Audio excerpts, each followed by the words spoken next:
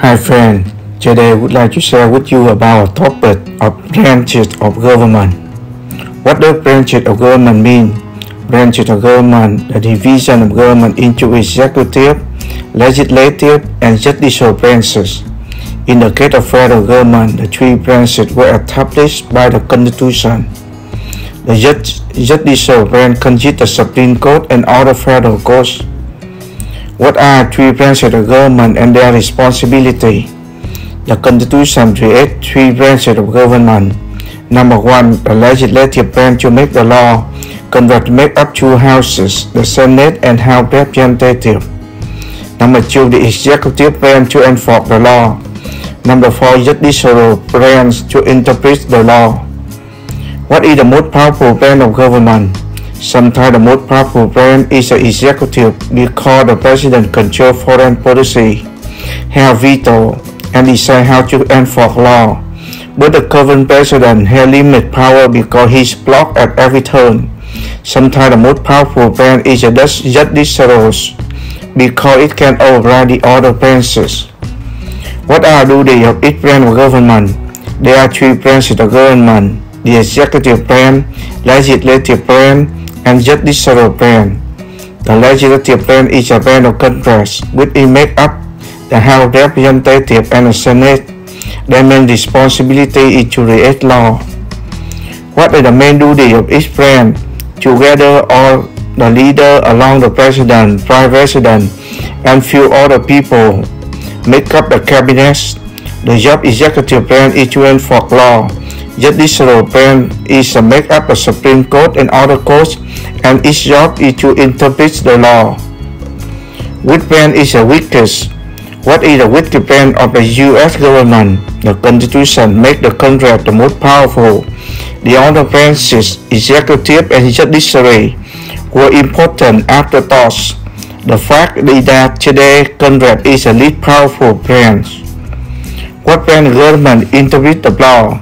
The legislative branch pass law, the executive branch enforce law, the judicial branch interprets law, executive enforce the law, executive branch, the executive branch enforce law passed by the legislature.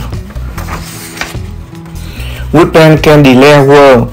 The Constitution grants Congress the sole power to declare war. Which branch decide what a law means? The executive branch of government makes sure law are carried out. The third branch of government is judicial branch. The Supreme Court is the head of judicial branch. Court decide the law mean and if they obey the Constitution. What branch make money? In United States, coin make United States mean and paper money is made by the Bureau of Engraving and Printing. Both are part federal government of the treasuries in the executive branch. What branch makes sure law are carried out and enforced? The President appoint or two judges for the Supreme Court and the Senate approve them. The President or executive branch is another branch of the U.S. government. The President makes sure the law are carried out and that new law are made. What branch of the U.S. government control the money? Under an instrument of the U.S. government, the Federal Reserve System consider itself an independent central bank because monetary policy decisions do not have to be approved by the president or anyone else in the executive or legislative branch of government. It does not receive funding appropriate by which branch of government has the most power. The Constitution later makes the Congress the most powerful of the three branches of government. Which branch must be natural born citizen. The Constitution set out three eligibility requirements to be president.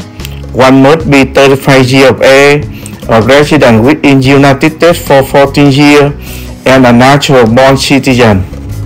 Remember, subscribe to see the next video. Thank you. Chào các bạn, hôm nay tôi muốn chia sẻ với các bạn về một đề tài của các ngành của chính phủ. Các chi nhánh của chính phủ là gì? Các ngành của chính phủ sự phân chia chính phủ thành các nhánh hành pháp, luật pháp và tư pháp. Trong trường hợp của chính phủ liên bang, ba chi nhánh được hiến pháp thành lập.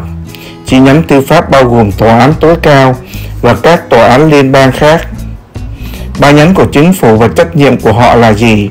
Hiến pháp đã tạo ra ba nhánh của chính phủ. Thứ nhất, chi nhánh lập pháp để làm luật. Quốc hội được tạo thành từ hai ngôi nhà, Thượng viện và Hạ viện. Số 2, cơ quan hành pháp để thực thi pháp luật. Số 3, chi nhánh tư pháp để giải thích pháp luật. Chi nhánh mạnh nhất của chính phủ là gì?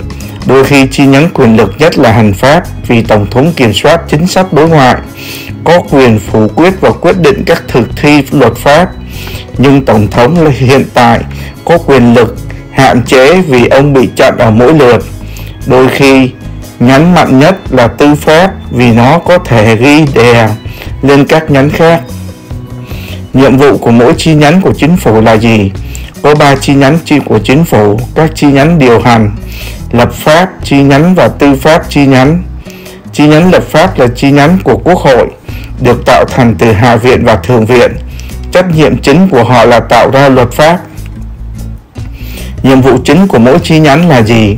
Cùng với nhau tất cả các nhà lãnh đạo cùng với chủ tịch, phó chủ tịch và một vài người khác tạo nên nội các. Công việc của ngành hành pháp là thực thi luật pháp. Các tư pháp chi nhánh chi nhánh được tạo thành từ tòa án tối cao và các tòa án khác và nó làm việc để giải thích pháp luật. Chi nhánh nào là yếu nhất? Vì vậy chi nhánh yếu nhất của chính phủ Mỹ, hiến pháp làm cho quốc hội quyền lực nhất. Hai chi nhánh khác, hành hành lập hành pháp và tư pháp là những suy nghĩ quan trọng. Thực tế là ngày nay quốc hội là chi nhánh ít quyền lực nhất. Chi nhánh nào của chính phủ giải thích luật, các ngành lập pháp thông qua luật, cơ quan hành pháp thực thi pháp luật, các ngành tư pháp giải thích pháp luật, điều hành thực thi pháp luật, điều hành chi nhánh các điều hành thực thi ngành luật được thông qua bởi các cơ quan lập pháp. Chi nhánh nào có thể tuyên chiến? Hiến pháp trao cho Quốc hội quyền lực duy nhất để tuyên chiến. Chi nhánh nào quyết định luật nghĩa, luật nghĩa là gì? Các cơ quan hành pháp của chính phủ đảm bảo luật pháp được thực hiện Nhánh thứ ba của chính phủ là nhánh tư pháp. Tòa án tối cao là người đứng đầu ngành tư pháp. Tòa án quyết định luật nghĩa là khi nếu họ tuân theo hiến pháp. Chi nhánh nào kiếm tiền? Tại Hoa Kỳ, tiền được tạo ra bởi Hoa Kỳ Min và tiền giấy được tạo ra bởi Cục Khắc và In. Cả hai đều là một phần của Bộ Tài chính Liên bang trong ngành hành pháp. Chi nhánh nào đảm bảo luật thực thực hiện và thi hành? Tổng thống bổ nhiệm hoặc lựa chọn các thẩm phán của tòa án tối cao và thượng viện phê chuẩn chúng.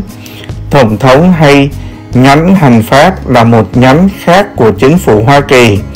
Tổng thống đảm bảo các luật được thực hiện và đó mới pháp luật được thực hiện.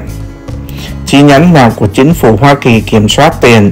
Mặc dù công cụ của chính phủ Hoa Kỳ, các Federal Reserve System coi mình là một ngành ngân hàng trung ương độc lập vì các quyết định chính sách tiền tệ không phải được sự chấp thuận của chủ tịch hoặc bất cứ ai trong điều hành hoặc lập pháp các chi nhánh của chính phủ nó công nhận, không nhận được tài trợ chiếm đoạt bởi chi nhánh nào của chính phủ có quyền lực nhất.